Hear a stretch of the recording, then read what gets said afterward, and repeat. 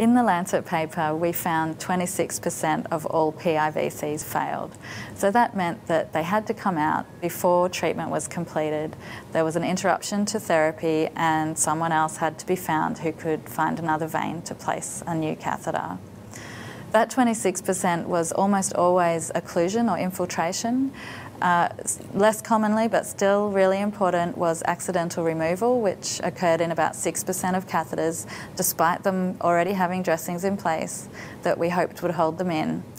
Uh, phlebitis is still occurring, so we saw that happening in about 5% of catheters. And typically that was pain. Pain was the number one reason that catheters had to come out for phlebitis. You can't improve your catheter failure rates unless you know what those failure rates are.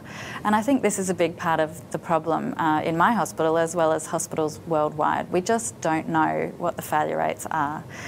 So of course we're monitoring infection rates, which are vitally important, but we need to take it down to the ward level, to the nurses level, and we need to really start taking pride in uh, the success we have in keeping our PIVs working.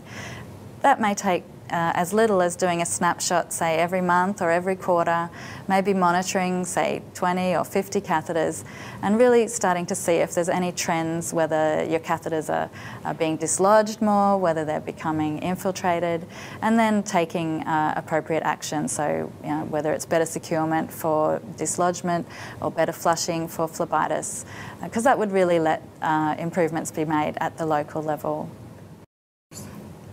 The absolute number one factor that we found was significantly predicting catheter failure was the placement of the catheter, so where it was put.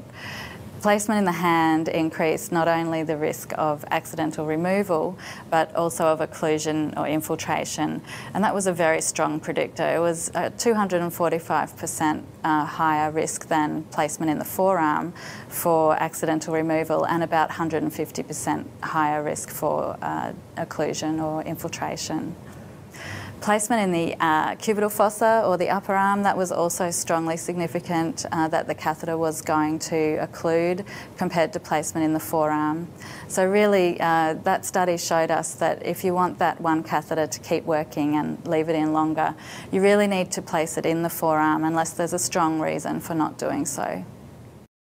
I think PIV care is everybody's responsibility, but especially it's a nursing responsibility. So we know we place many of the PIVs, but more importantly, perhaps we care for those PIVs. So once it's in, you know, it should stay in and it should stay functioning.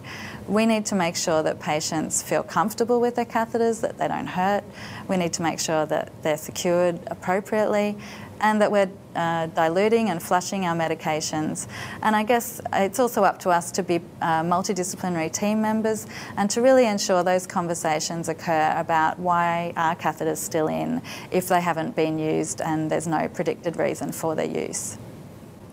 Every day nurses are assessing IVs and they're documenting those assessments. But at the moment those just get filed in the chart and end up in medical records. Now that's a lot of rich data that could be used by nurses for other purposes. And I think if we can just grab that data and start analysing it, just in a very simple way, nothing complicated, but if a nurse can actually look at the infiltration rates, at the accidental removal rates, the reasons for removal in their own ward, then that can be then used as a really powerful way to engage other people in that hospital or facility to champion change. Now, that change may be clinically indicated improvement, but it may be other things. So if you're finding that your dressings and your securements are just not intact, they're not dry, then that may be somewhere you need to go. If phlebitis and pain are the main issue, then maybe it's the flushing and dilution that needs to be looked at. But the message is don't just collect data and put it away in a dusty cupboard. It needs to be used and it needs to be used in a way that's going to improve PIVs. We can't have longer lasting PIVs unless we really tackle this huge problem we have of early catheter failure.